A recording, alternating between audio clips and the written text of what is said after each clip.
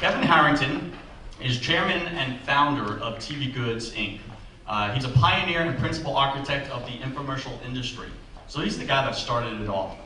Uh, but we've come to know him as the sharp-looking shark seated at the left end of the Shark Tank on ABC's hit uh, reality show Shark Tank.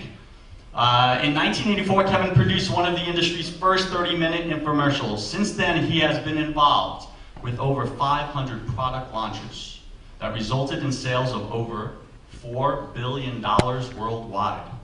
Kevin recently released a book entitled Act Now. If you haven't read it, highly recommend it. It's a fascinating book. Uh, Act Now, How I Turn Ideas into Million Dollar Products, that chronicles his life and experiences in the DRTV industry. Please join me in welcoming Kevin Harrington.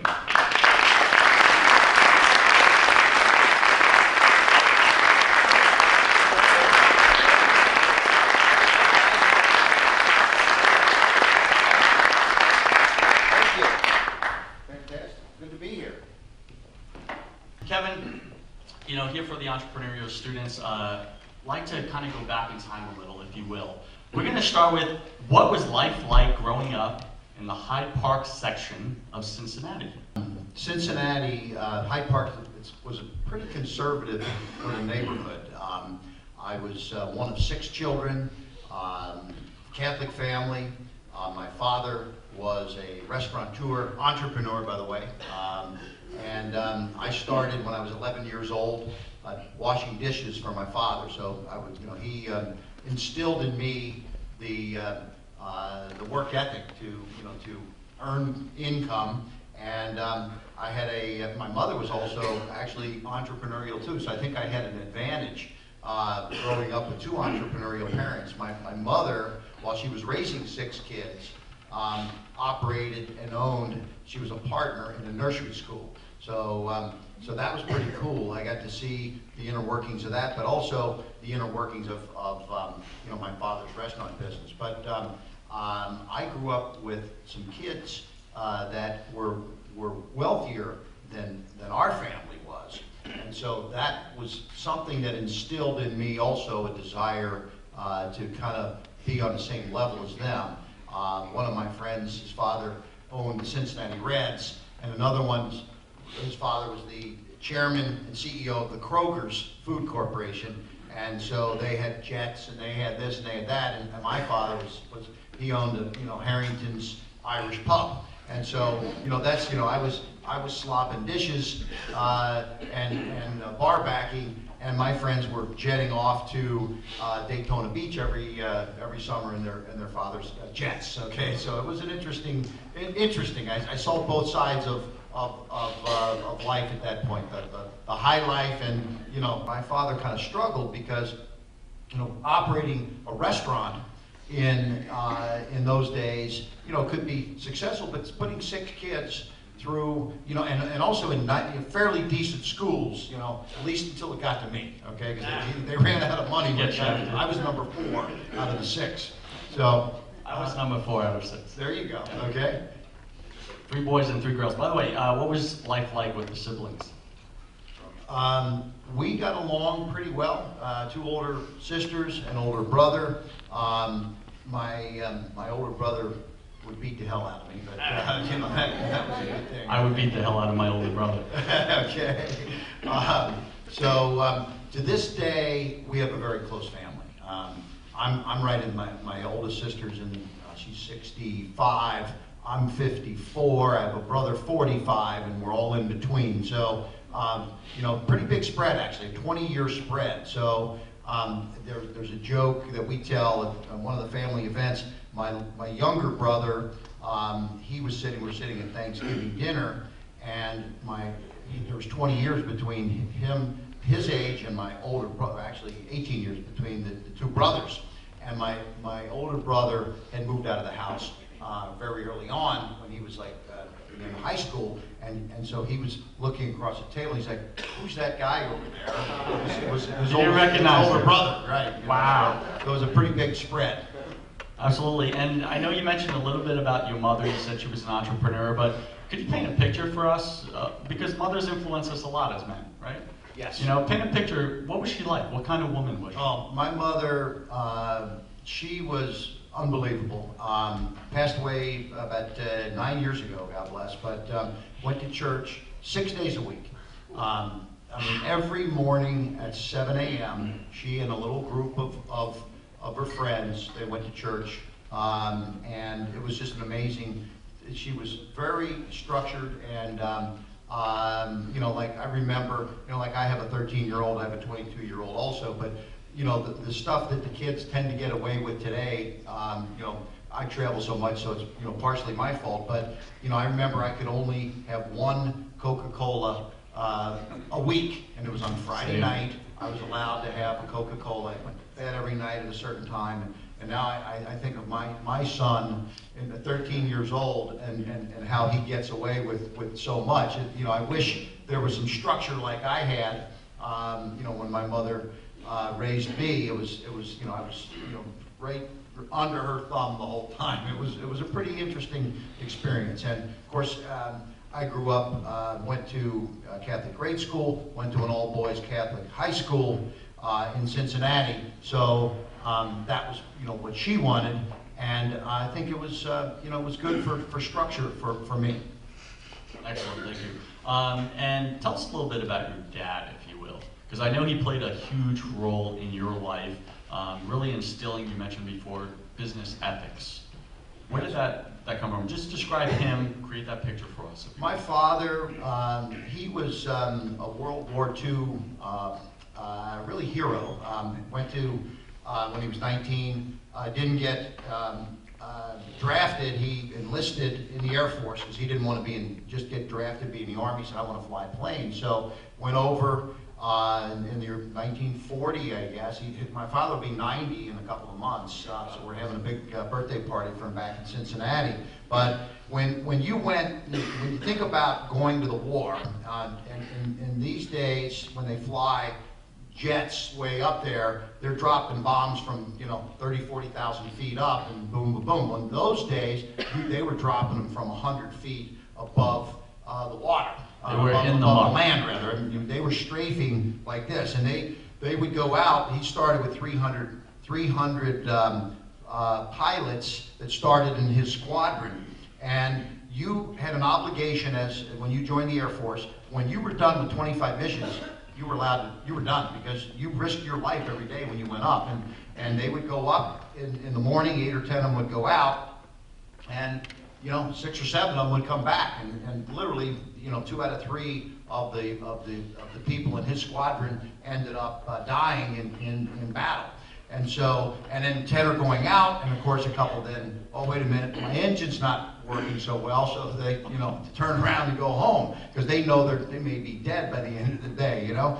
so my father though they developed a camaraderie and with a couple of the, the key guys, because these young kids were coming in af- after him doing this for a year, and he'd done flown his 25 missions. He's like, I, these young kids coming in don't know how to fly, and they were up against German Messerschmitts uh, back in these days. So the the, um, the U.S. planes weren't near the technological um, uh, specimen. That, you know, it's kind of like the Mercedes of, of Germany and, and BMWs up against you know Ford you know, type uh, cars today, type of thing, you know. So, um, not nothing against the U.S. automakers, but uh, Take it easy.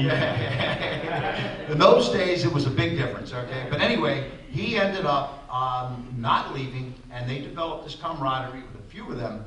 He flew 75 missions, 100 missions, over 150 missions, and he was allowed to go home after 25. And these are these. This was just an unbelievable um, camaraderie, and they ended up finally got shot down twice. He got all kinds of medals, and he came home really a war hero, and went from there. What kind of business did he wanted? To, you know, he was wanted to be in his own business, and there was nothing better because he was kind of a locally well-known guy coming home. My mother was the was the daughter of the bank president, Fifth Third Bank.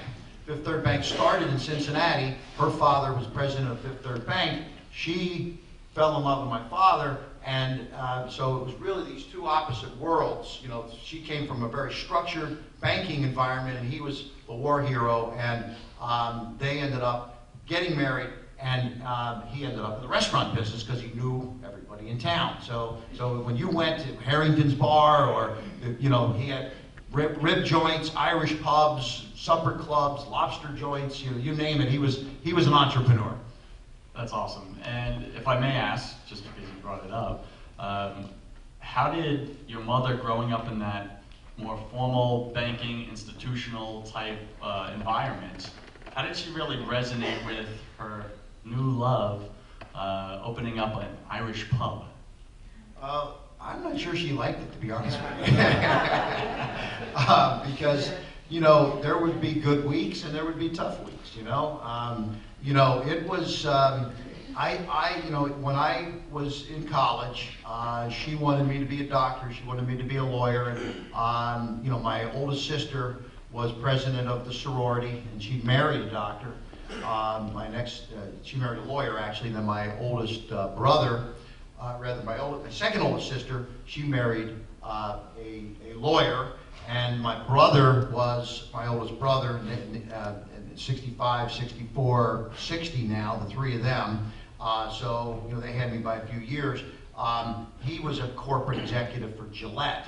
And so that was how she wanted her kids to be raised, okay? Um, and, and so my father really was the opposite of all of that, but, but he was working literally, he, his last restaurant, when I worked in his restaurant, um, I went, uh, he would go in, it was, it was a um, nightclub, um, supper club. Um, they would go in, would, rather, they opened at noon every day for lunch, closed at 2.30 in the morning, and he was there for every hour of every day.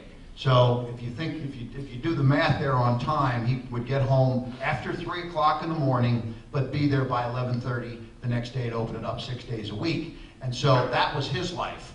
And so I didn't see my father a lot. Never, never saw him for dinner all through school, and we took very few vacations because he couldn't afford to get away for, for weeks because he was in, in a small business like this. Um, you know, I, I know um, uh, there was just so much thievery going on inside that, that business. I saw it. Um, I saw chefs taking steak boxes of steaks out to the garbage. And my, you know, I remember one day my father said, "Why is the chef taking the garbage out?" You know, and he's like, "Come here, let me, let me check that out." And inside there were these big boxes of, of steaks with a little bit of garbage on the top. And um, I'll never forget the. Um, you know, my father was, you know, he was very, very sharp, and he's like, I want you to count how many kegs of beer are being delivered, uh, you know, because we got to, you know, we got to count for the, the beer deliveries. And so uh, he comes into the kitchen and I'm, I'm counting. He's got a good count on this? I'm like, yeah. He said, wait a minute, driver. And he looks over and he says, let me see these, these kegs here. And he says, take that one off. There was two kegs that came in. Take that one off of there. And underneath, he, he had already delivered two in, two out. You know, two empties out, two full ones in, two empties out. Well, the guy's going back to the back to the truck, and he's taking a full one back to the truck. And my father, I said, how, he, takes the, the, empty off the top, the full one's on the bottom. I said, my father, how did you, he was stealing the keg of beer, the driver. So I said, how did you see it? He said, that bottom keg was sweating. And he says, these are the things you have to be looking for as an entrepreneur. So it was just unbelievable. The bus boys were stealing steak knives. And this was, you know, I mean, I learned, I was 11 years old, and, and and I saw, you know, the waitresses giving away free meals and drinks, and it was it was just mind blowing to see the thievery that was going on in this small little little restaurant that my father was operating. That I'm glad you brought that up. Um, and speaking of the, the beer keg, I'm just gonna piggyback on that a little bit. Uh, your dad caught this delivery driver, right, stealing from him, and his lesson to you that day was, don't trust anybody, right? Yes. Okay. Yet somehow you ended up with the complete opposite attitude, trusting everyone until they give you a reason not to. How did that happen? I, you know, I, I'm not totally sure how. I think maybe, but that came, that was probably from my mother, okay? So, uh, because my father was very, of course, he had, he had been, you know, at that time, many years through the restaurant business, and, and really um, rightfully saw that it was, you know, he'd been burned so many times before that that was his attitude, don't trust anybody, and, and only until they gave you reason. Because, you know, I, I, would see people that seemed to be the nicest people in the world that he would later tell me what this person had done or this person had done. So, so, so I think that's, that was, was certainly his mentality. My mother, I think, instilled in us the, the, the opposite. And so, um, you know, I think that, um, you know, and, and to this day, I think probably one of, of my faults in business um, is I, I, I, I tend to, I, I like to give people the benefit of the doubt. Um, I like to believe that, um, you know, that we can, you know, we do a lot of, lot of deals, a lot of ventures, and uh, it's funny, in Shark Tank, um, you know, we find out the hard way though too, and we, we really have the reverse attitude on Shark Tank now. Uh, we pretty much don't trust very much of what's said. Uh, because first of all, imagine I'm sitting here just like this, somebody comes out, gives a three-minute pitch, and now I have to decide whether I'm gonna make an investment in their, their business or not. And I have to take the attitude, okay, we'll do a deal, but I'm not gonna trust everything that I just heard, because, a good example, a, a, one woman came out, and it's how, you know, so how big is your business, what, you know, what, what are your numbers? Oh, I've grown the business to seven hundred thousand dollars a year. Oh, fantastic, okay, so seven hundred thousand, what's your profit? Well, she, you know, so we went through this whole scenario. So I, I made a deal, bought into her company fifty percent ownership. When we do the due diligence, I looked at her numbers, last year, her sales, the previous twelve-month period was two hundred and fifty thousand. So I'm like, well, you, you induced me to buy half your company for X amount of dollars based on the representation that you were doing seven hundred thousand dollars a year. Oh, she said, I grew it to seven hundred. That was two years ago. Now I'm doing two fifty.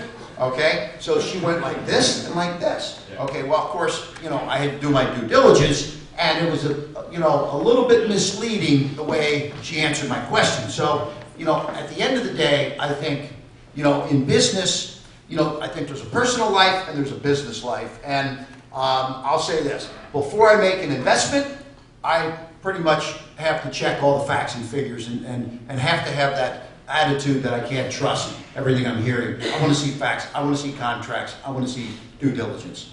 Very good. I was actually curious about that on Shark Tank. Like, once you make a commitment live on national television, are you obligated, or can you still do the due diligence? So. Yeah, it's, it- everything is subject, uh, two sides to due diligence on both sides.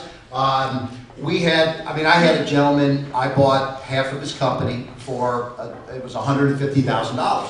And um, in the due diligence, I I found an amazing business that this guy had. Um, I went up uh, to Chicago. He had a customized um, uh, pro- a protein bar, a nutritional um, energy bars.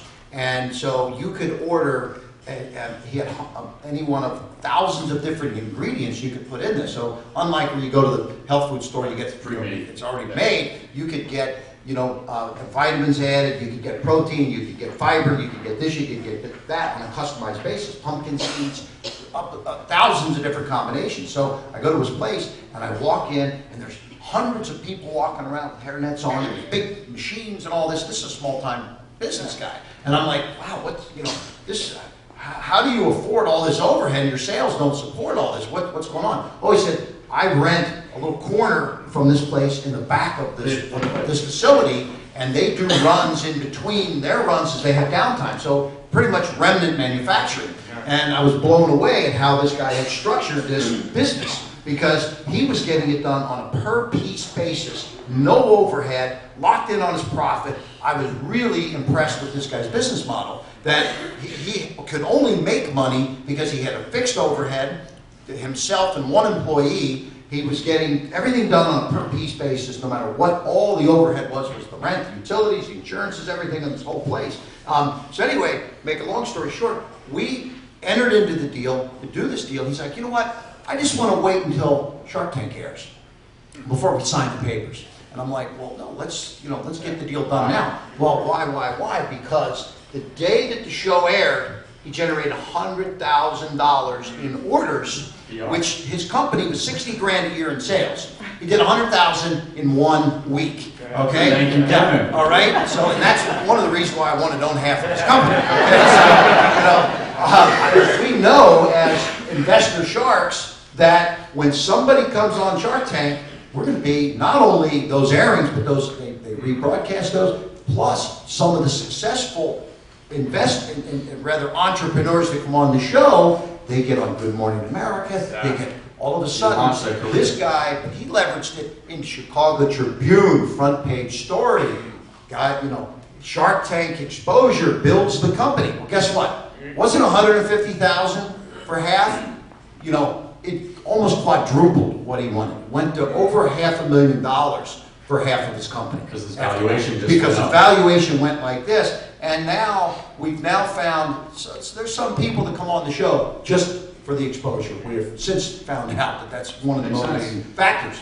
Makes sense. Let's jump back a little bit. Uh, what kind of friends did you keep as a teenager? You know?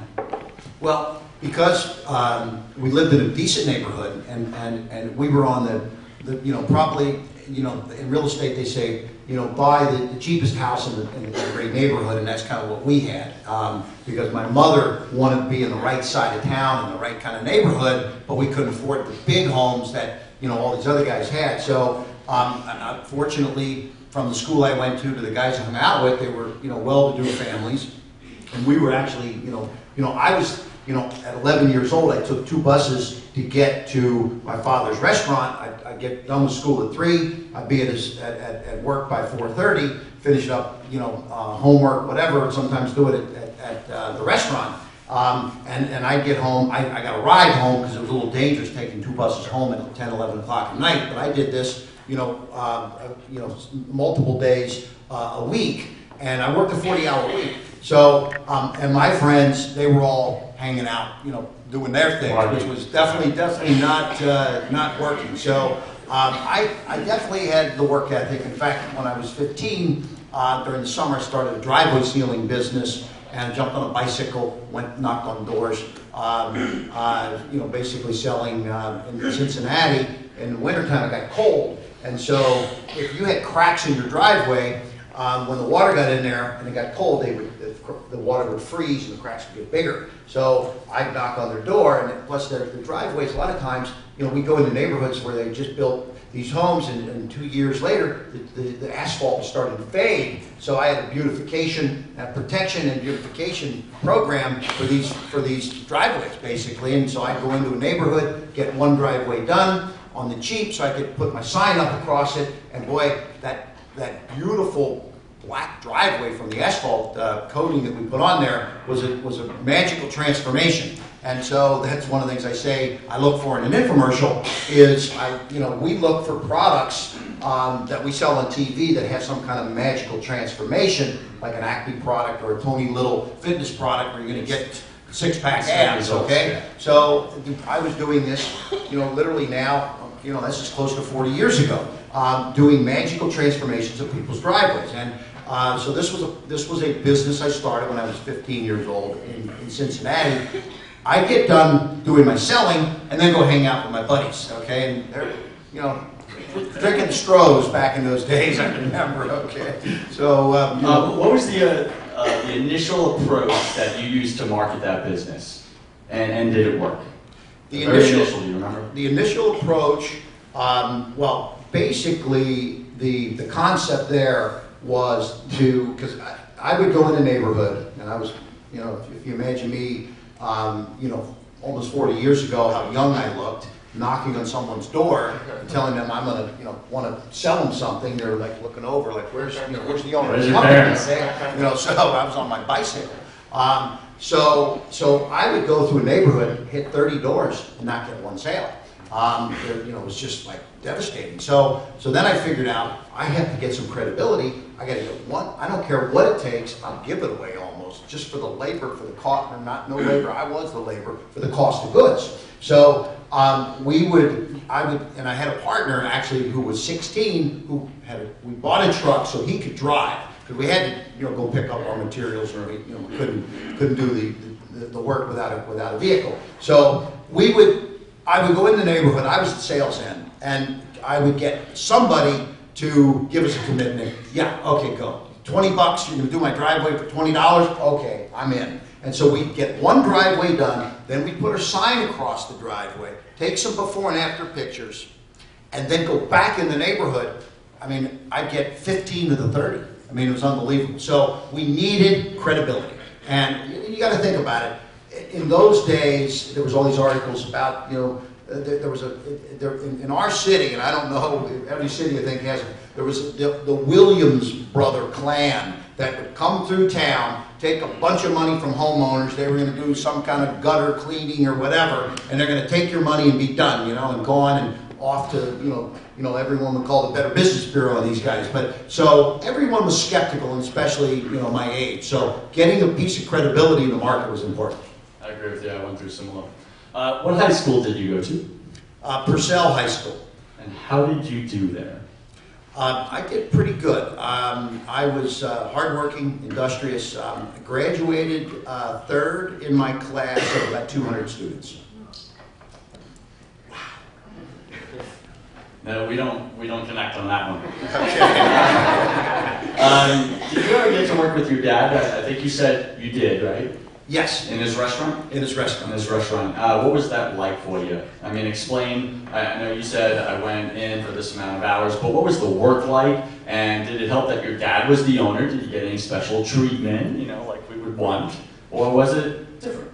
No, he, I got no special treatment. Treated, he treated me just like every other uh, dishwasher that he had. Okay, that was, you know, he he actually I got a dollar an hour to start. That was my pay, and um, uh, at that time minimum wage was a dollar forty. So I wasn't actually even making. He was. I found out the other dishwashers were making a dollar forty an hour, and I was only making a dollar. So we had to have that conversation. Because I, I did a better better job in my opinion than they did, but. Um, no, it was, you know, my father and I, uh, we bonded tremendously at that time because, you know, here, here I am a dishwasher, and one night my father walks in and he said, well, I got the phone call from the chef's uh, wife, and he was in a terrible, terrible accident, okay? And I'm like, oh my God, um, you know, and he's like, yeah, well, guess what? I, I don't think he really was in an accident. So what, what do you mean, Dad? Well, he's not coming in tonight, but I asked his wife, you know, uh, when, you know, so how long is he gonna be out? Oh, well, he'll be back tomorrow, okay? So,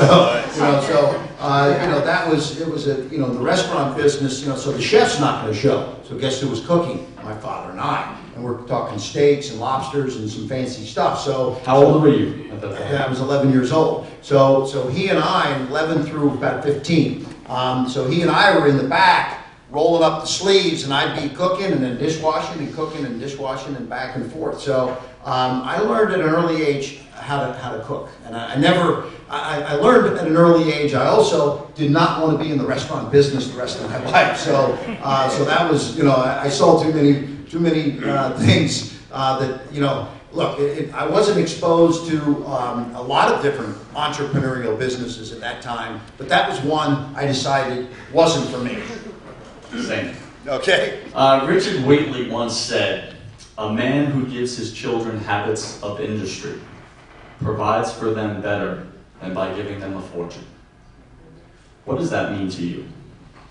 Well, I think I, I, I got this not just from my father, I saw, you know, from my mother's side in the nursery school, et cetera. Absolutely. I think um, my father not only did, he, he was so entrepreneurial that um, in between all of the things he was doing with the restaurant, he was always thinking, you know, now, you know, we got to find some products because, you know, the restaurant business, it's, it's ups and downs and has stability at times and then not. And so um, he would encourage me, and he he actually was he would read these business opportunity journals and um, unbelievable things. I, I remember um, we got a um, he had a business and. Being in the restaurant business, people would scratch the, the seats and things like that. So we started a vinyl repair business for other restaurants. And um, there, were, there was these heat guns. Uh, as we bought this little business opportunity. Say we. He bought it, and then he and I operated the business. And we these these extremely high temperature heat guns that would you know you would you would match up the the uh, the vinyl with you got this color swatch, and we could do before and afters on on on seats. They had big rips in them. Um, and we started with our own restaurant and then said, well, geez, we could do this for others. So we were in the vinyl repair uh, business and, and then we were doing some vending uh, businesses uh, that, that he got involved with. And um, I'll never forget, uh, he got the franchise uh, in Cincinnati for a company called Magic Fingers, which was these little um, vibrating um, things that would go in uh, under beds in hotels, and you put a quarter in it, and it would vibrate the bed. You know those? Okay, and so he and I, you know, would go around and install these magic fingers machines in, in hotel rooms all over the city. So um, I was, uh, you know, I had all of this exposure to all these kind of, you know, if you call it today, kind of some crazy, you know, uh, uh, entrepreneurial activities. But it was, uh, it was, it was very exciting for me to see. Here, my father was working 70 hours a week and still looking out for other opportunities. Don't keep his his attitude with me was don't keep all your eggs in one basket. So uh, that was something he said all the time. It's interesting, uh, a common theme in the two or three products that you just said you and your father were involved in was, that I just picked up on is instant results. The same thing, and it sounds like your whole life has been that. And now here you are marketing those types of products, which I think it's interesting how it started like that. Uh, your friends told you, quote, you've got to be just like your father. Your father told you, you've got to find something you really want to go out and do on your own. And your mother told you, why would you want to have your own business? Just look at your father.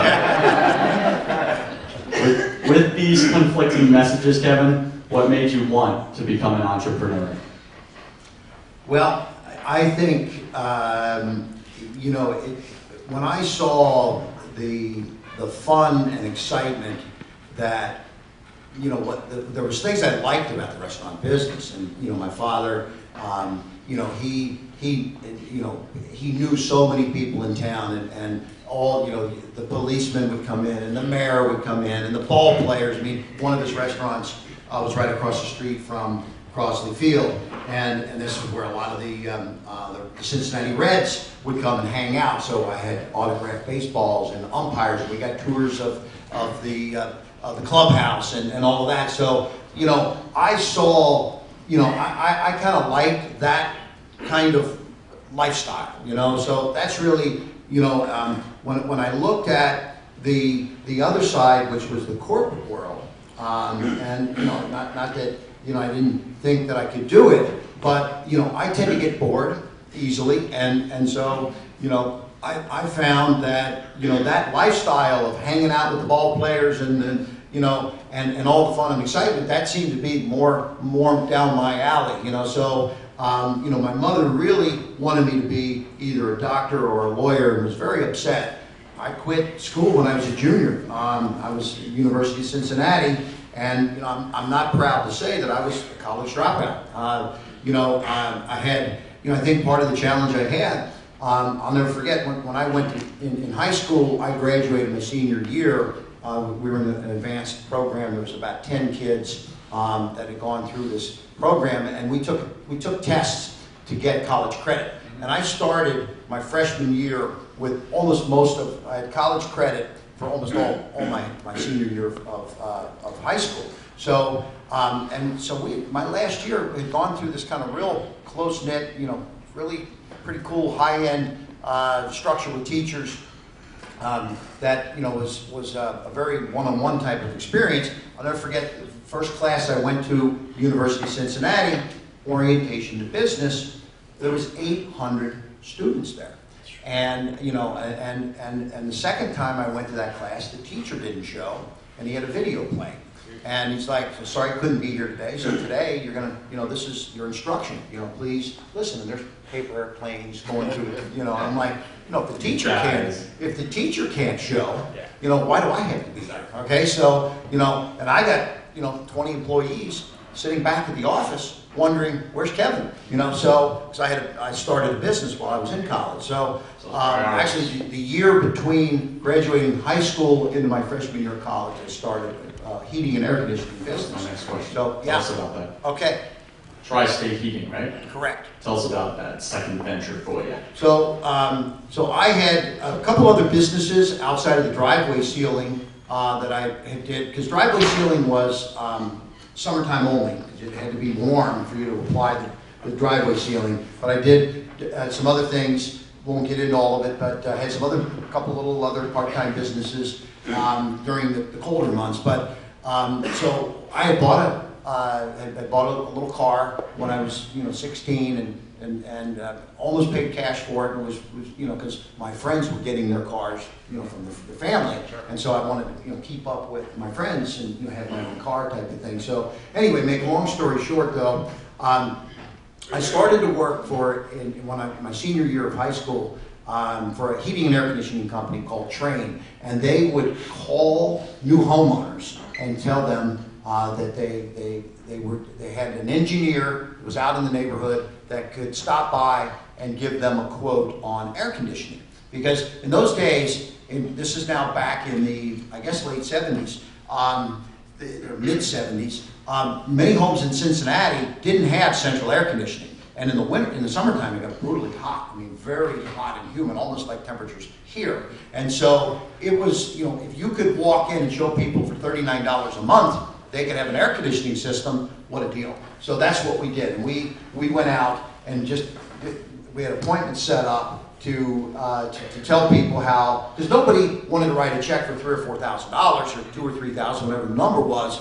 But if we could show them how to finance it at thirty-nine dollars a month, what could be so bad? So I, as a salesman for, um, the training company, I was selling two to three, um, systems a a week, part-time, and then a light bulb went off. Well, geez, I think I could do this, um, as a business. And I started a company then, uh, called, uh, called Tri-State. And, and what I did was, I wanted, I don't want to call it Harrington's, you know, because that sounded, you know, like, you know, Kevin Harrington, who am I? I'm a young kid, you know? So Tri-State, which Cincinnati is in the Indian, Indiana, Ohio, Kentucky area, so Tri-State was kind of a big sounding word. Um, and so what I, what I did was I took a full-page Yellow Pages ad out the first year. Um, and, and I, and I, and I put four different phone numbers, north, south, east, and west. And the three of them were um, answering services that funneled back to the, the main office, um, call forwarding type situations. Okay, so we were tri-state. Actually, when I researched uh, the trademark tri-state, I found out that there had been a company that started in 1956 with Tri-State Heating and Cooling. They still owned the name, but they weren't in any of the yellow pages or anything. So researched the owner and found out that the guy had, had you know, years ago, he had retired, had abandoned the name, wasn't doing anything. I went to his home, uh, Thomas Lee, I think, knocked on his door, and I said, hey, I'm starting a company. And, you know, and he's, he took a liking to me, and he said, you know what? For one dollar, I'll sell you the name and the history of our 20-some-year-old company. So you Um, got 25 years of credibility Right. for a dollar. for a dollar, but he wanted, he wanted to be involved as a mentor consultant to the company. So, and he actually. And the board of Yeah, so he, he, he said, you know, look, um, you don't have to pay me to start, but if this, if this works out to be something, um, then, um, you know, I'd like to, you know, be able to kind of ride around with you guys and help out a little bit. So, so, um, we became Tri-State Heating and Cooling, twenty-five years in business, for what looked like offices around the tri-state area. And overnight, we went from zero to a million dollars our first year in business. And we ended up with um, 25 employees, we had six trucks. And uh, this was um, 1976 or so, something like that, while I was in freshman year of college. Again, I'm hearing a common theme here with the last business, this business, and, and it sounds like throughout your life. Building credibility is like step one, especially being that you have youth against you, right? Correct. You're younger than, than the, the people you're competing with. So you build your credibility, you look bigger than you are, and all of a sudden clients start hitting. Is that, Yes. I mean, even today, um, you know, I, in, in new businesses that we start, Um, we look for, we're just, one of my companies right now, we're, we are um, adding some uh, board of directors, members. Sure. And, um, you know, how do you uh, build credibility in the company? Well, you know, I have a track record in what I do, um, but it's entrepreneurial. And, um, you know, and, and if, if you're out raising, you know, right now, we just finished recently a $4 million raise uh, with institutional investors and, you know, Wall Street types, um, you know, big companies that have a very strict set of criteria. Okay, well, we're now on round two of doing a secondary financing with this whole situation. So we, you know, we, you know, like, okay, great, you got an entrepreneurial track record and we know you've got, you know, the ability to do things, but where's the, the management team that's gonna help take this thing to the next level? So we've got two new board members joining, and this was, you know, conditioned, uh, our secondary raise was conditioned upon uh, getting some good advisors to join the board. And one of the people um, that's, that's joining the board, and, and, um, you know, this is, you know, something that's gonna be coming out very shortly, but a gentleman that is, I, I won't, uh, say his name and everything here, because it hasn't been announced yet, but, um, he is on several major boards around the, the, the US, public companies. Um, Krispy Kreme is one of the boards that he sits on. Um, Web.com uh, is a board that he sits on. This guy was a former uh, CFO for a national bank. Um, and I won't say which bank because then you know exactly who he is. But um, um, anyway, this gentleman has a tremendous track record and he's going to join my board. And this is very important that we get that credibility with, with, with a good board of directors. Very cool. So, tying it back in, you were 19 years old, a college student, and running a $1 million a year type company. Correct? Yes. Describe what were some of the struggles that you were facing on a daily basis juggling all three of those? Well, I had to go, to my, I, I structured my classes to be done by noon or one o'clock on a, on a daily basis, so, so, you know, that was good. That I could, you know, I, I, I didn't lose the whole day, like where I was, you know, not getting to the company until four or five o'clock. I'd get there generally in that, you know, midday range. Uh, but, you know, when, you when, in the summer, you know, in, in, and I say summer, but when it would start getting hot, like, in, you know, like right now, April, May. I'm still in school, but when it would get hot, you know, those ads that we were running, I mean, I'm getting dozens and dozens of phone calls from these ads coming from all over the city. Hey, I want to bid on air conditioning. And likewise, also, when it would get cold, we were getting service calls, people without heat. And, and so, you know, by the time I get to the office, we may have had 30, 40, 50 phone calls from customers looking for bids or service. Now, we had, you know, the, the business was running because I had people operating it. Actually, my father ended up, he had sold one of his restaurants. So I, I, I said to my father, you know, hey, look, I, I need some help here, you know. How would you like to, you know, you just, you know, just sold a restaurant. How would you like to come in and actually run the operations of this business? So my father joined me at that time, and, um, and, and he, um, so by the time I ran the sales, he ran the operations, and by the time I, I, I would get to the office, many times it would be a little chaotic, you know, because of, of all the action. So, um, and then I worked into the evening doing the sales because, um, you know, people called for, they wanted a, a, bid on air conditioning or whatever. I always wanted the husband and wife both to be there so we could get the commitment and get the signature on the contract, financing, etc. So really, the daytime was, was uh, operational and the evening was, was sales, but it worked out pretty good. And, and we had a, um, a group of telemarketers that did outbound phone calls also to set up appointments. We had a staff of salespeople also. Excellent. Now, is it true in that time your dad comes to work for you, right? Yes. Uh, is it true that shortly after your dad came to work for you, he told you, quote, if you don't quit college, I'm going to quit working for you? Now, that's not a typical parent response. Uh, what was going through your mind when you heard him say this to you? Well, what was going through my mind was that my mother was going to be very upset. okay?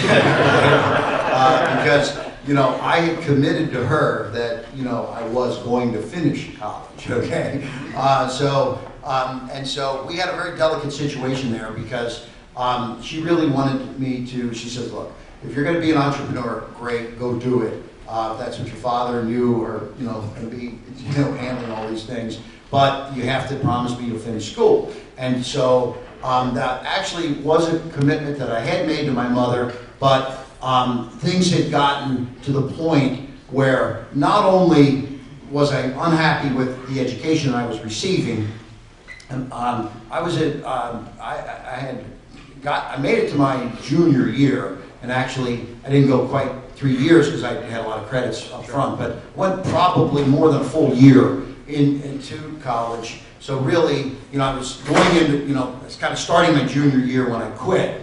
Um, but I would have never made the last couple of years because the business was, was really taking off. And we were, um, it, I mean, we had a full-fledged, I mean, in, in that world, there was companies that have been in, in heating and air conditioning for 25 years, barely doing a million dollars in sales. And we did it our first year. We won, I mean, Carrier, uh, Bryant, Fedders, we were like dealer of the year for all these different companies because we were blowing huge numbers. And, um, you know, we were selling air conditioning systems in the wintertime because we go out to sell furnace and we make a deal, now's the time to get air conditioning. So in a sales pitch on why they should buy that system. So basically, I just couldn't do both. It was, it was crazy. And my father said, Kevin, you know, you really, you got to make a decision. You, you, you're either going to finish school and go the corporate world, you know, or you're going to be an entrepreneur because this, this company needs you.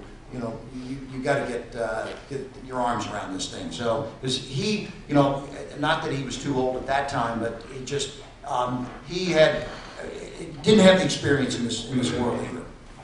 Okay, my curious mind would like to know something. By the way, did you pay your dad better than he paid you? Uh, yes, Yeah, a lot more than a dollar an hour, okay? He got a little salary, but, you know, to be honest, he wasn't high paid. Um, you know, so I got a, a really good deal. I, I don't remember exactly how much he was getting paid, but he got a, he got a fair salary. And, um, um, yes, it, it, it definitely, uh, you know, I, he, he, was a hardworking guy. My father would roll the sleeves up and, and, and, and actually, we ended up, I, I got to the point where I, I realized, and here again, I found out I didn't like the restaurant business early on with my father.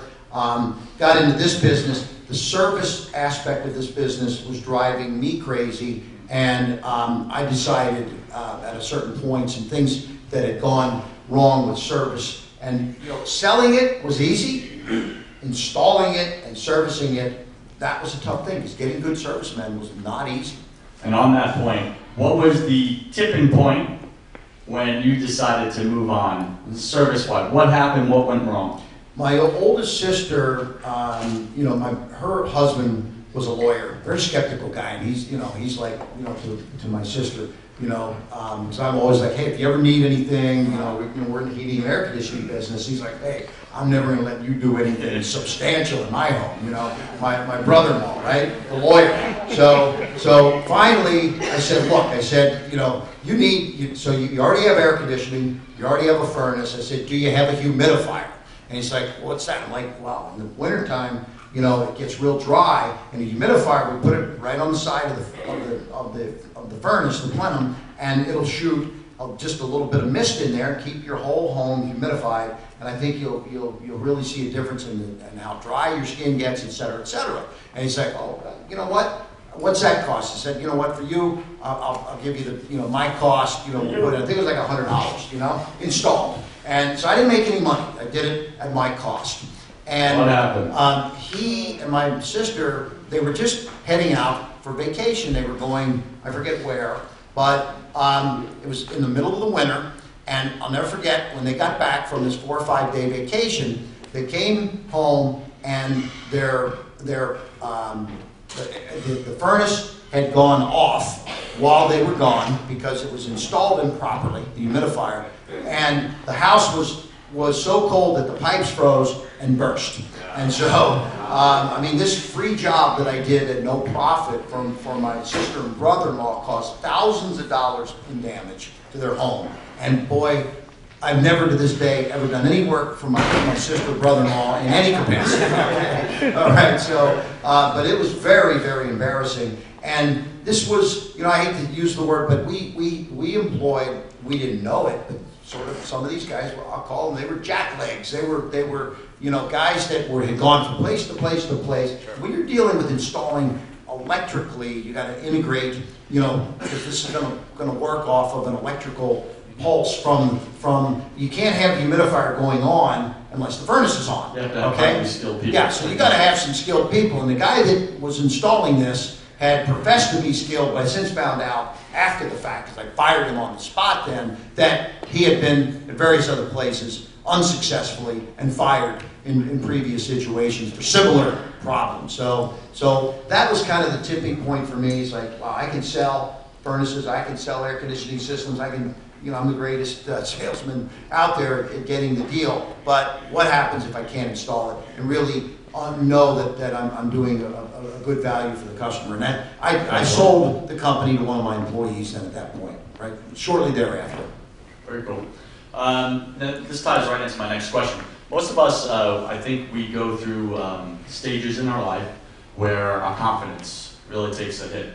Um, it sounds like your sister's moment there with pipes bursting and everything could have hit a confidence level. I, I just want to ask you, you sound like a motivated, confident individual. You're the best salesman, you know, in the world, you're thinking at that age.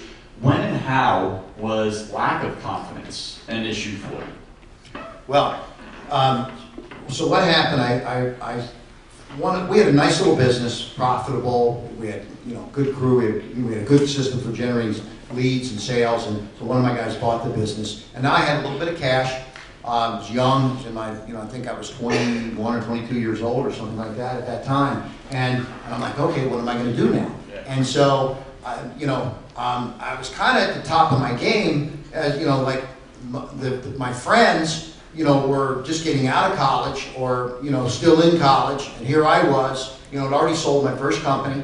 You know, I, I I got eighty thousand dollars when I sold the business, but you know, go back, you know, forty years ago, that that's not a bad amount of money to have in your pocket for a young kid. So, um, you know, so now I'm like, well, what am I going to do with my life? What, you know, what am I, you know, what, what's, what's my business now? So I started looking to get into a business. And I started in the Business Opportunity Classifieds, Entrepreneur Magazine, you know, business opportunity type publications. I was going to franchise shows. And I said, "Uh, I'm certainly going to find something that I want to want to do the rest of my life. But, you know, all of a sudden, day after day, week after week, became month after month, I had nothing to do. My business was finding a business to get into. And I started really kind of losing, you know, confidence and motivation because I'm like, I, you know, there was all these fast food franchise type opportunities. And, you know, donut shops and, and, you know, you know, Subway sandwiches. And I'm like, I learned I don't want to be in that business. And, you know, print shops and, you know, but I saw limitations in the amount of money that could be made in all of these different opportunities that, you know, what's the average guy gonna make? Well, geez, I'd already been there and I wanted more. So, um, I, I was beginning to think that I was never gonna find really a business to get into. So, so what happened was, you know, I remember, I was literally, I was flying all over the country. And, and it started to become kind of fun at, at a point now. I mean, I, I was down in the dumps because I hadn't found anything, but now I'm starting to meet with all these different entrepreneurs that were franchising their businesses. And I flew to LA and met Neil Balter.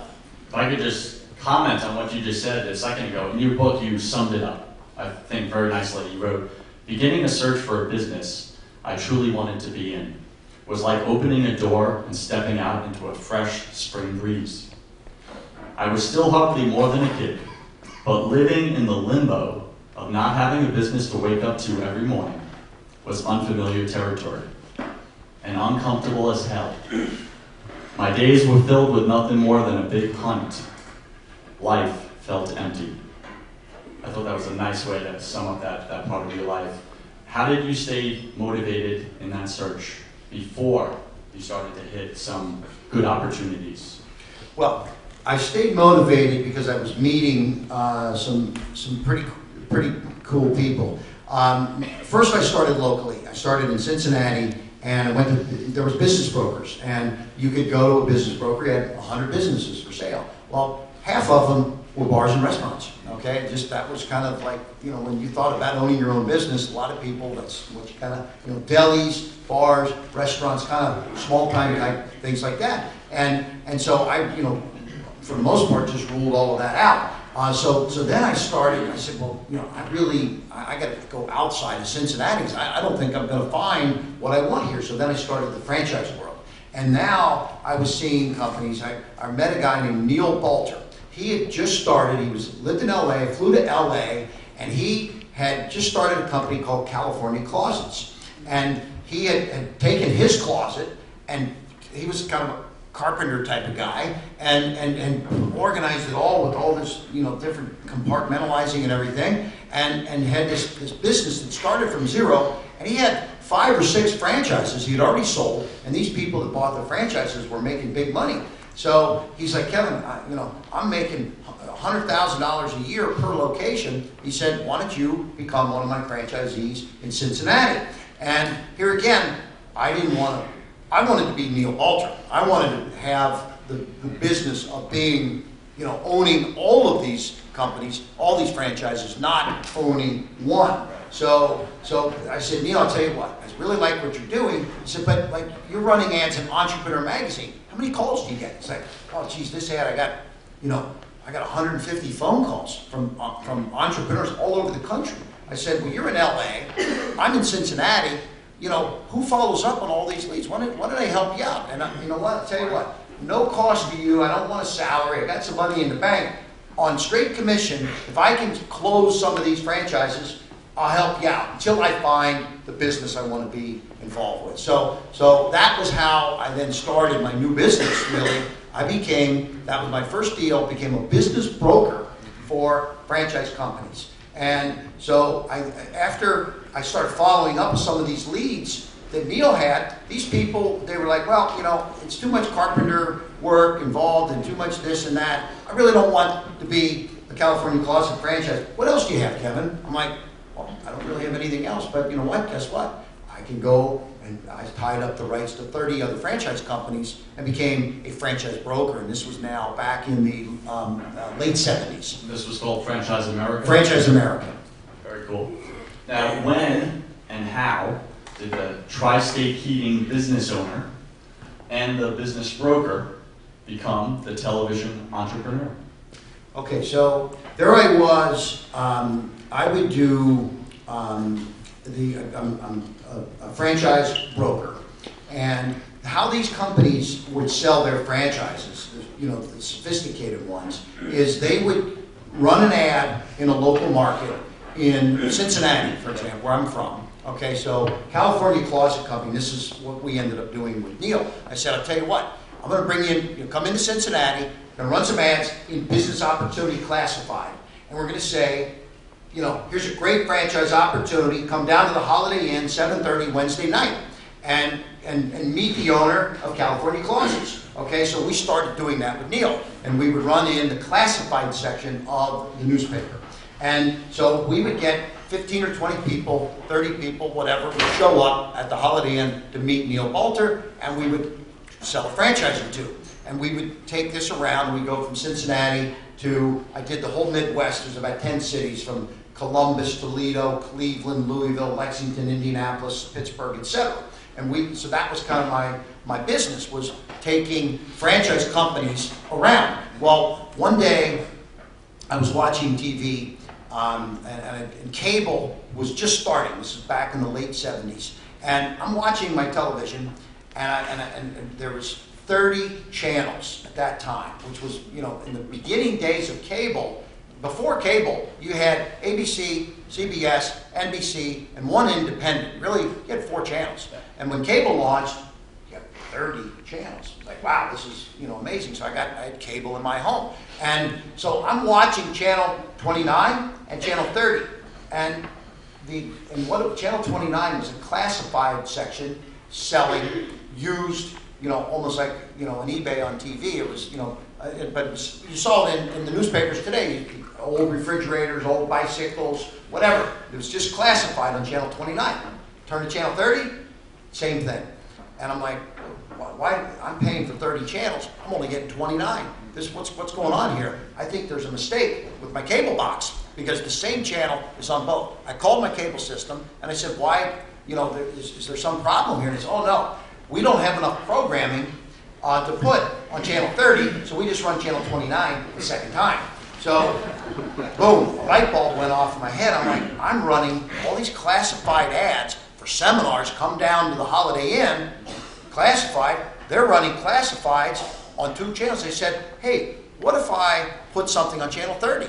And, and, and, you know, would you be open for me giving you something to put on that channel 30? So what would that be? I'm like, I'm going to do a TV show called Franchise America. We're going to interview franchise companies like Neil Balter, and we're going to tell people, don't buy that franchise until you tune in. So we ran the ads in the classified section, and we said, don't buy the franchise until you tune in to channel 30. And here's the time periods. And that was the first ever infomercial, and this is back in the early 80s. And so these were 30-minute shows, like you see today, the real estate shows, where they show the homes for sale. Well, this was back in the early 80s, we sold all these different franchises for sale.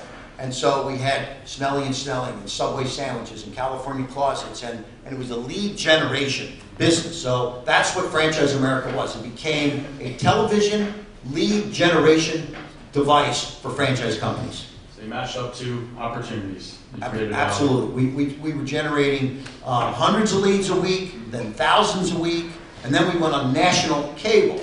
And so, so what happened is, I said to myself, I, we sold of one company, we sold 100 franchises for a company called Stained Glass Overlay.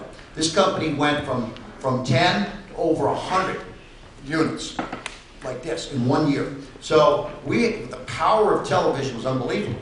And so we had tens of thousands of people calling us on a weekly basis to get information, but I represented dozens franchise companies, not just one. So we, we could move people around. So we would sell these leads multiple numbers of times to the franchise companies.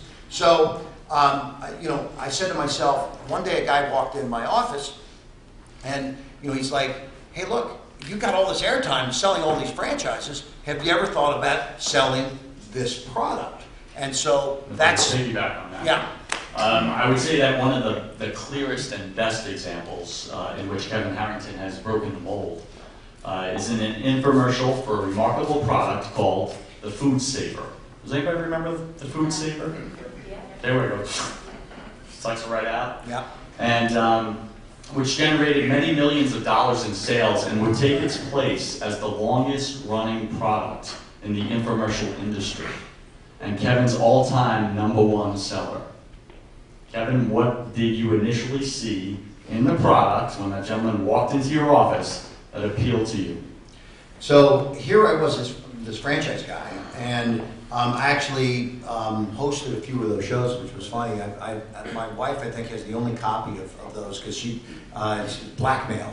Because I, you know, it was Smart woman. 20 some years ago, those shows, you know, I, you know, I, I realized I'm better off hiring talent, okay, than being in the shows myself. But, uh, but I couldn't afford talent, so I was the talent. I was the, the host of the show. But um, um, the um, uh, this guy walks in my office, and and so um, he puts down on my desk this this food sealer, and it was I didn't know what, what it was, and he's telling me about this product, and and I'm like I'm looking at it, and and, and I'm thinking he's crazy, okay, literally, you know, because I'm like, what is this? He said it's called the food saver, and and I, what is what does that sell for? It was a big bulky thing, and and so and, and he's like, well, it's it's it's a three hundred dollar piece of kitchen equipment.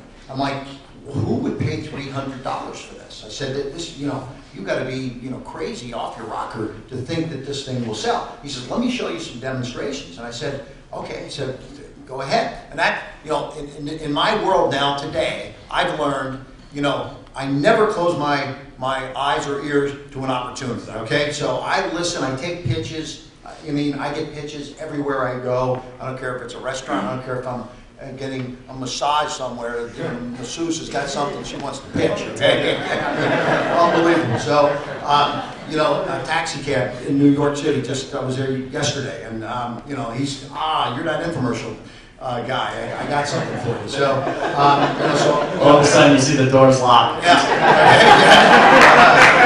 it's amazing. But um, you know, the so he takes a Coca-Cola can and he puts it into the bag and he turns the machine on and right in front of my eyes, the can starts crushing inside from the pressure of the sealing action.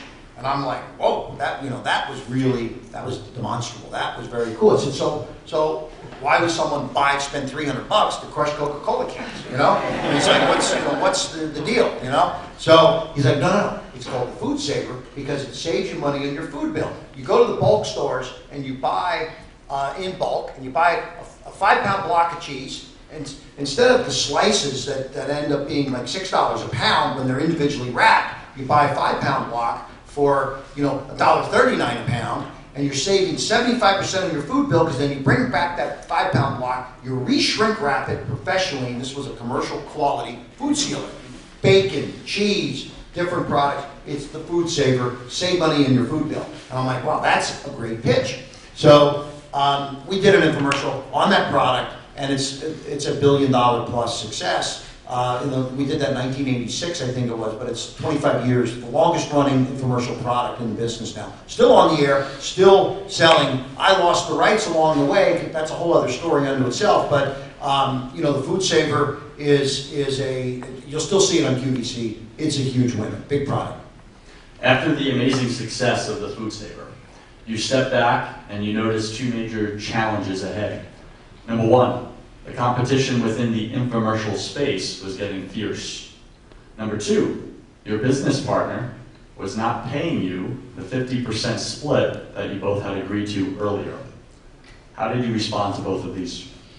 Well, the I had a partner, and actually, my partner had um, he owned the Cable Guide magazine, and and so well, it was like the TV guide of cable, and uh, he bought 50% of my company uh, for a promise to finance the business. Um, no cash up front, because we were growing, we were you know buying media, and we were doing all these things, and we needed capital. So he said, look, I have an endless amount of capital. Uh, I'll be your partner. I'll put up all the capital, run the business. I want 50% of your company. So we, we had this company now. We were literally doing tens of millions of dollars in sales. Um, I think the, the, the year um, that I left, and you asked what did I do? I ended up having to actually leave my company that I own half of. The, the year I left, we were doing $30 million in sales because this guy um, had, you know, from there's two sides of every story, but from his side, he was laying out capital and the company was making a profit, but I wasn't getting my share of the profits because you know his attitude was he's plugging it back in, but but there was cash in the bank. And, and make a long story short, we basically had a disagreement, and it was time for me to go on and own my own business 100%. Because when we first did our deal, the company was Franchise America. It was a different business. Um, then we started morphing into products, and now we were going in a whole different direction. So I left, and it was funny because Franchise America, why did this company called Franchise America own a product called the Food Saver? It was kind of, it just didn't make sense in the marketplace, you know? So, um, so I, I left and, um, and got my own office and started a company called Quantum Marketing. And that was, you know, what it was basically, I said, I got to do this on my own. I don't need a partner, especially one that's going to pretty much, you know, control all the cash and, and, and not give me my share. So I, I started a new business, went, went out on my own. I like what you said in your book. You quote, quote, at certain moments in an entrepreneur's life, you get a gut feeling that something is about to break loose. You're about to take a risk that's going to be an essential step in climbing the ladder of success. Here's my question, Kevin. Where do you find your courage to not only face your fears, but to stand nose to nose with them until they reluctantly back away and make room for you to pass by? Well, um, I think it, it, it basically having had success at a young age with some of my previous businesses, um, you know, it, you have to sometimes just go out and do it. And so when I first started knocking on doors when I was 15, it was, it was a scary uh, endeavor. Um, pulling up on a bicycle and, you know, you know, I just had to go do it. And after I did it enough times, I realized, hey, it's, these people, they're nice people. And they weren't slamming the door in my face and they would offer me, you know, a soda and, and, and things like that. So, you know, I, I, I built that business and then I built the heating and air conditioning business. So I will say this, um, the good news is, when, when I started in the early days, I had some success, so I had a taste of it. Okay? Had I failed and failed and failed, um, it would have been a lot tougher uh, to keep having that courage. Okay? So um, I think you know the, the best thing I can probably say is that if, if, if you can somehow get over the hump quickly with some small kind of success um, and, and just make it happen, that you know it, you, you really do need to program yourself for, for, for the mental aspect of, of building the business because um, I mean even today we start businesses you know I'm involved in dozens of, of different companies right now. And um, each one of them requires the courage to go do it. And I think you know um, we, you know we have to just sometimes just uh, just plow ahead. But but basically because uh, I've had the success before it gives me an advantage. Uh, here's the question is, well, first off, uh, just want to piggyback on something. Uh, courage. I, I've learned uh, in the past, say, 12 months or so, the, the definition of courage. The willingness to sustain a wound. And I think that's what entrepreneurship really is. It's that willingness to keep getting back up after you take a, a blow. So for all of us out there, you know, keeping courageous. Kevin, is there any Kevin Harrington in your infomercials? Uh, well, I think, uh, yes, yes, not me personally. Um, I don't, uh, I don't go Not into. your face. Not my face, no. Um, I, I've only, I've actually, uh, I'll do a testimonial here and there, especially if, if I'm investing in a company. Um, you know, sometimes I will, if I really believe in the product, if it makes sense, um, you know, I'll, I'll sometimes, you know, do a little, a little testimonial. Um, so that, from that standpoint, yes, but I think, um, the Kevin Harrington that I think is in the commercials is an evolution of the things we've learned. Um, I have a, a checklist of things that, that I look for um, in, in, in, in putting an infomercial together. And, you know, I, I look for, you know, magical transformation, I look for multifunctionality, and I look for, um, you know, um, you know, problem solving. And I have, actually have a, a ten, a ten-part checklist of things. And these are the Kevin Harrington um, techniques of, of, of bringing a successful product to market. So um, when I'm doing a commercial, you know, those are the things that I, that I make sure um, we've addressed as many of them as possible. Not every product will, will have the capability of all 10, but if we can get seven or eight or nine of those, or you know, if we're lucky all 10, then it, it generally uh, is, is uh, a good sign that we may have a winner at our hand. So uh, I think that the techniques are probably the best thing that, that, I, that I bring to the table. Okay, makes sense. When an infomercial is finished, can you sit back in the audience, just like this, and enjoy it as an audience member? Yes, and I, and I, and I feel that's very important. In fact, um, you know, I always, when I get done, when we're, you know, and when we do an infomercial, there's a lot of editing involved. And, I mean, we'll do one edit, two edits, we have a rough cut, a second rough cut, a third rough cut, five rough cuts. We get into, a, you know, the first final pass with, with a rough, we call it a rough, a rough track, uh, without uh, the voiceovers, without the animation, without the graphics, et cetera. So, um, that whole process can take, you know, months and months and months, and sometimes, you know, three, four, five, six months worth of time and effort that goes in. You get so close to that infomercial and the edits that you almost sometimes lose an objectivity of, of, of what you're accomplishing. So oftentimes what I will do at that point, and certainly when I'm done, I take the show and I, I take it and put it on the DVD, bring it into my living room, and I take my wife and I take, I have a 13 year old, sometimes I might send it to my 22 year old, and, and I'll say, let's watch the show. Okay? That's And cool. so I like to see, we do this in the office, and we do this with industry people, but it's kind of, um, you know, unofficial focus groups. But we get, and, and I get, you know, tremendous, and I view it now, first time, you know, and I'm watching the eyes of, you know, when do people, you know, tune in and things like that, so, you That's know. what I'm doing right now. Yeah, I mean, I, I, I- I get, um, I learn a lot, at- at- at- sometimes at those, at those stages, so, um, absolutely. It's important to be a consumer, um, as well as the producer of the show. If you had to describe your entire entrepreneurial journey in only three words or less, what would you say? Never give up. Amen.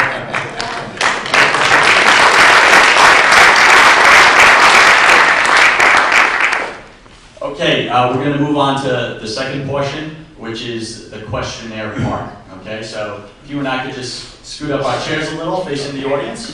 Let's get even more intimate. Okay. These are some playful questions, but they really bring out a person's character, I think. Okay, first up, Kevin, you ready? Yeah. This is like shoot, aim, fire, or. Kevin, what is your favorite word? Ka-ching. Maybe that's- maybe that's a favorite sound. I I love to hear, I love to hear the cash register ring, okay? What is your least favorite word? Failure. What turns you on? Finding a, an exciting new product. Really, I mean, I, I go, I, I do uh, a lot of what I'm doing right here today. Um, I do this, um, two or three times a month, um, in front of, you know, small groups, large groups, a thousand people, a hundred people, whatever it might be. And, um, ultimately, you know, what, what I really get excited about is when somebody will come to me afterwards, whether it be in person or an email or something later, and say, wow, you know, I didn't, you know, because I'm not an inventor myself. Um, I've invented one product in 27 years, um, and actually lost a lot of money uh, on that on that project. Um, so I, I I only partner with people uh, that are inventors or that have products. So so I say to anybody that when I'm speaking, I said, you don't have to have a product right now. You don't have to be an inventor, but somewhere over the next month, week, year, whatever it might be, you're going to be at a cocktail party, you're going to be somewhere, some networking event. You're going to hear about something, and you're going to say, you know, that is a great idea. That's a product I think Kevin might be interested in. So I, I get, you know, we get, last year, we had over 30,000 registered products that came through our process to take a look at. So that's, that's what I love. That's what I love. Finding uh, the new, exciting product. Kevin, what turns you off? Oh, boy, let's see. I, I think when, when, when people come to us, um, a, a, a lot of times, you know, I, I think sometimes we, we just have to, you know, something doesn't work. We give it our best. And a lot of times people, um, they don't accept the fact that it's time to move on. I mean, not everything's gonna work, not everything's gonna be a home run. And so, uh, uh, you know, so many times after we've invested, you know, a, a lot of our own money, a lot of our own time, um, and we've, we've tried and we've tried and we've tweaked and we've tweaked and we can't make it work. Um, you know, you just have to move on. Uh, and we actually give the rights back to people. Um, we have, when we sign a contract, we, we really have an option to roll something out. So, so our, our basic deal says, okay, you have a product, we want an option to explore, you know, whether we can make this successful or not. We only hit on one out of three successes. Uh, so two out of three are failures. So, so that's a, a tough thing to deal with, and I think, you know, um, when we deal with somebody and they can't accept that, that, that's, that's tough for me. I understand it, but it, it's tough for me that, you know, entrepreneurs have to know when to get up and dust themselves off and go on. Um, in fact, there's a, a quote that, um, I think it's Thomas J. Watson, the founder of IBM. Um, he says, how, or, you know, what is the, the secret to your success? And he says, um, I double my rate of failure. Okay? And so, and that's really in my business what we do. As, as, as we, if I'm successful one out of three times, to get to ten successes, I gotta have twenty failures, okay? So, so I gotta double my rate of failure to, to get to those successes. And, um, I mean, it's, it- unfortunately, it- you know, if you only, if you only have one product, and it's unsuccessful and it's a failure, you're not gonna be excited about that. But, but you have to understand, not everything is going to work. You gotta be done with it, move on, go to the next one, and make, and make your next one a success. Good answer. Let's breeze through these next ones. What sound or noise do you love? I already said it. Ka-ching. Okay. What sound or noise do you hate? A door closing, you know, for opportunity, when, uh, somebody just, when that door slams, that's, a that's, that's not a, that's not a good one. Okay. What is your most prized possession and why? I would say my, my kids, my family, um, you know, that is, at the end of the day, that's, um, you know, that's, no matter how many hours and days I work, um, boy, do I love coming home, uh, and hanging out with the crew. What profession, other than your own, would you like to attempt? The biggest challenge that I run into in my business, um, and starting up all the different businesses, is raising capital for these companies. So, um, I, I've never been the greatest at, at being, you know, the money raiser, uh, but I've always said if I have the, if I have the ideas, money will come, and yes, it will sometimes, but not necessarily always. So I think if I, if I had to say, uh, that here's a- an area that I could focus on in, in either in addition to what I do, or um, if I wasn't selling on TV, I would be a financier uh, to be able to use other people's money to finance successes and take a piece of the action. Okay. What profession would you not like to participate in? Well, I hate the restaurant business. Okay. And if heaven exists, what would you like to hear God say when you arrive at the pearly gates? Well, I think, um, I always try to do a fair deal. Um, I try to say, I try to put myself in the shoes of the person that I'm doing the deal with. Because they gotta go back to their lawyers, their advisors, their accountants, their wives, their husbands, whatever it may be, and, and say, this is the deal that was just presented. So, so I, I, I try to structure a fair deal, so, you know, I wanna hear, that yes, um, you drove a hard bargain, uh, but you were fair, so come on in, okay? Okay, and this brings us to the third part of our little conversation with Kevin uh, that we call the classroom. This is where I turn over the mic to you. So if you have a question for Kevin, these are your students. Take over, please. Okay. I'll pass the mic. Speak into the mic. Uh, hey Kevin, my name is Jake Loramo. Um, I'm the president of the Entrepreneurship Club here. All these awesome people you see in the front row, they're all our members. So uh, thanks for coming here to UT. We really appreciate it.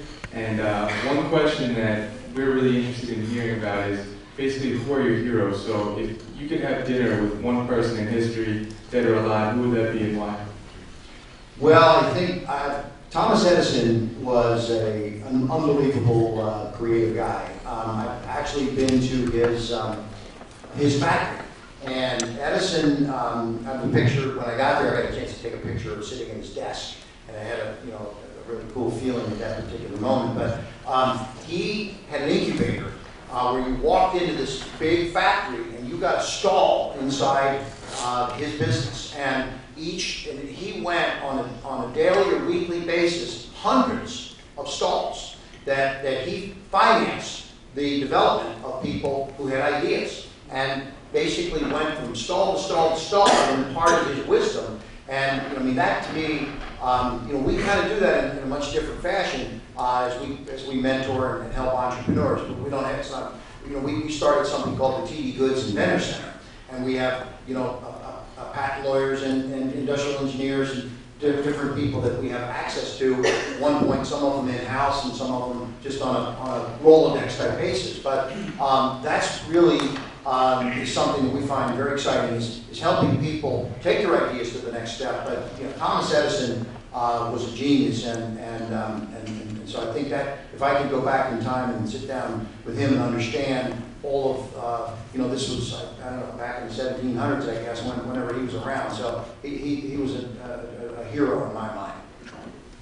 Next. Um, What would you suggest for young entrepreneurs that have to raise money?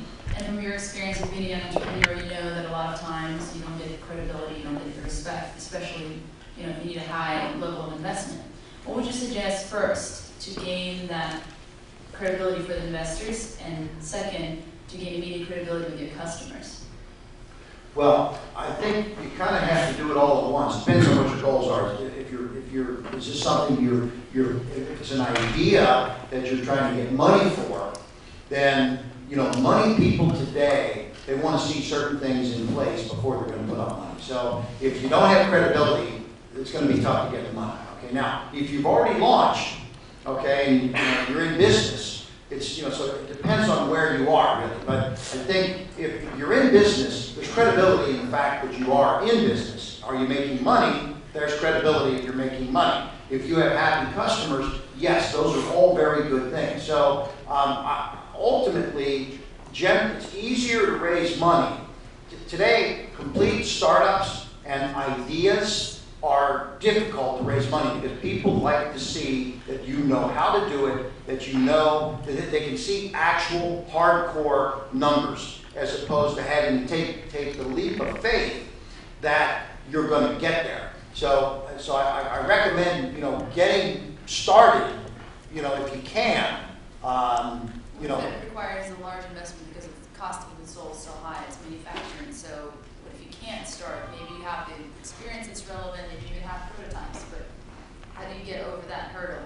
Because it's like the chicken or the egg, yeah, I might have the customers, I might have letters of intent, maybe I'll get their credibility, but how do you get the investors' credibility, because this all has to happen at the same It's, time. it's a difficult process, but I think the key thing would be to get a team of advisors in some fashion uh, that maybe have been in this industry before, that will, that will vouch for the fact that, if- and maybe they own equity also, uh, maybe, even if they haven't put in capital equity, um, you know, the fact that, you know, if if I were looking at a business that was a startup, I, I, want to know for sure that the money isn't going to just go in and, and be used to figure, figure out that it wasn't going to work, okay? So, um, so now, if there's people that are involved in having done it before, that, that are a part of the team, that's the credibility that, that, that's going to be needed there.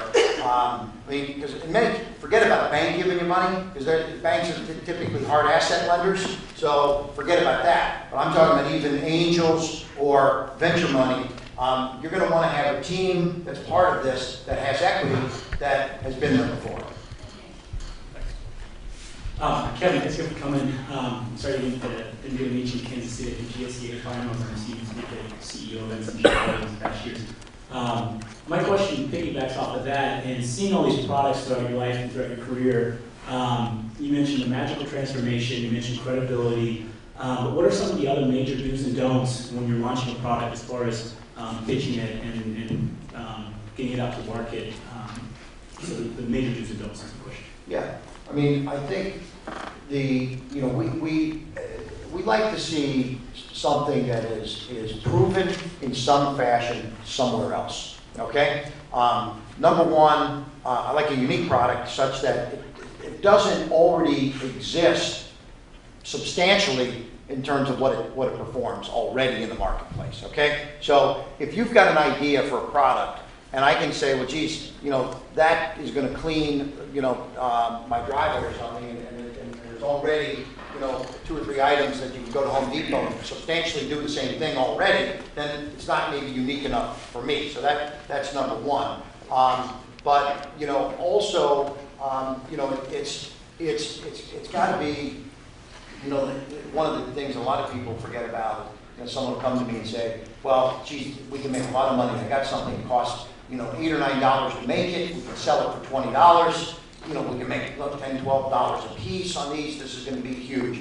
You know, the numbers have to make sense, okay? The margins have to make sense. You have to allow for the distribution uh, channels in the process, and a lot of times, people have researched out, well, if you're gonna get something into Walmart, okay, you know, you've got not just the cost of goods, but you gotta have great packaging, you gotta have a salesman get it in there, you gotta have freight into the store. Don't forget about the returns that you're gonna get back, the advertising allowances, et cetera, et cetera. So, you know, you gotta run the numbers, and you gotta, you gotta know all the costs that are, that are associated. So, um, you know, I think that, um, you know, the, I could spend, you know, probably an hour talking about all the things that I look for, but, um, you know, I- we talked, we talked about magical transformation, uniqueness aspect, um, being able to, you know, understand the numbers, um, et cetera, et cetera. So, you know, maybe some other time we could, you know, spend it, you know, spend a little bit more time on it, but those are a few of them.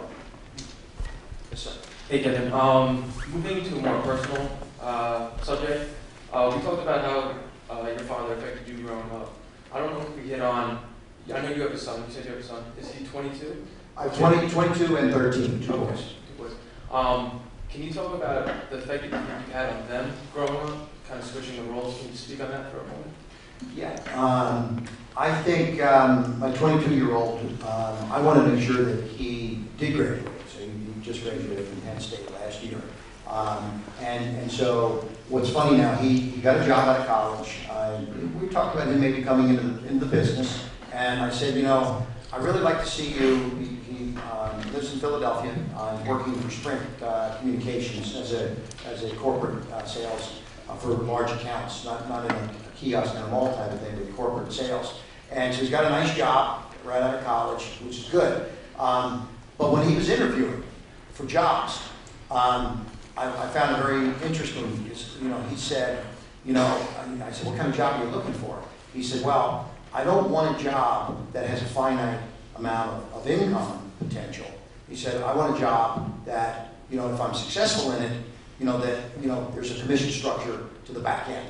Okay? So I, I said, you know, I, you know, that was something that, you know, I said, you know, that probably, if I were in the corporate world, you know, I would, you know, I think having an upside as opposed to the biggest challenge, you know, in, in, a, in a corporate situation with a salary and a, and a you know, a finite amount of, of pay on a weekly basis, I, I, personally would have tough time. 'cause I, I like, you know, to be more motivated, and I think my son now, you know, he's in the business of having to go out and get leads and try to sell phones to, to major carrier, to major accounts. So, um, I think he, you know, I, I know that he, he likes the fact that if he gets an account that's three hundred phones, you know, that's gonna be a good deal for him. So I think, you know, my, so I think he's definitely, um, you know, has approached his corporate world in, in, in, in a similar fashion probably that I would. So that, that's probably one of, one of the things that I, I figured out. Yes, sir. Can you talk about the balance between an entrepreneur just jumping into an adventure or should they wait some time to get experience? Like, talk about that balance. I mean, Well, I'm probably not the best one to tell you about balance, okay? um, You know, um, I, I think I said in my book somewhere, um, someone said, Kevin, uh, you remind me, um, Joseph just said it, um, um, ready, fire, aim, okay? So I don't necessarily think that that's how you should do it.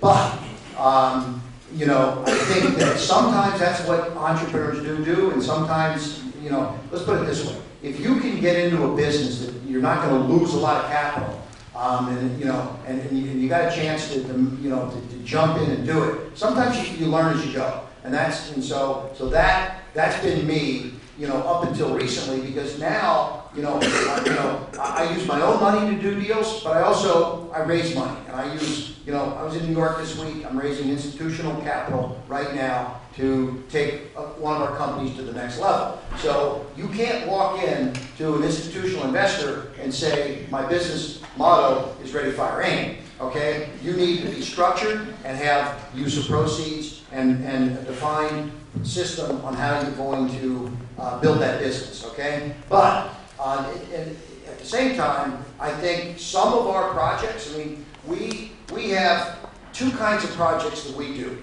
So maybe this is probably the best way to summarize this, is that we have certain projects that we do that, you know, that we're very structured, very planned, we do focus groups, we do research, we, you know, we really look at them A to Z, we put our money into these projects, and, and we run them, you know, like, uh, you know, like clockwork. We have other things we, we call it kind of test before we invest. And, you know, those, we kind of slap into some kind of a test pattern somewhere sell it into a catalog, put it on Home Shopping Network, you know, do some kind of market test and, and, and throw it out there in, in some kind of an unofficial type capacity, more or less, that we get a read on it before we then put it into the more regimented uh, scenario. So I think entrepreneurs can be at different levels like that also. And, and, and, I, and I think it just depends on the business and, and, and your own uh, personal strengths on, on which way to go. That's the last question. Okay? Um, it seems like you cover a lot of, um, you do a lot of the entrepreneurial aspect, and you do, and you run the numbers, you do the financing aspect too. Um, do you consider yourself more of, an entrepreneur or a, uh, what was it? Or like a financier, because it seems like you're just, it seems like you're a broker at the same time. Yeah, no, definitely, uh, I'm an entrepreneur, and um, um, I think um, the, Joseph, I, what what was that, you said courage, you said something about being able to sustain A wound. a wound for for long periods of time? That- you just That's, that. that's me, Correct. and I would describe that as entrepreneurship also, okay? So, um, no, absolutely, um, it is, uh, it's not for everybody, but, you know, it's, it- I think, the, the, probably, uh, I think we're, we're, we're finished here with the last question now, but I think, that, you know, um, you know, I, I- I, sometimes, uh, close on, on, a- on something I've lived my life with for, for many, many years, and it's being an entrepreneur, it's with a vision, okay? So I, I wake up in the morning and I say, whatever I vividly imagine and ardently desire and sincerely believe, if I enthusiastically act upon it, then it must inevitably come to pass. And, and I think that that is how I live my life, and I think entrepreneurs, uh, you know, it must inevitably come, must inevitably come to pass. Maybe it's gonna take a little bit of pain there for, for a wound for a while, but you'll get there if you follow, um, those processes, so. Let's give Kevin Harrington a big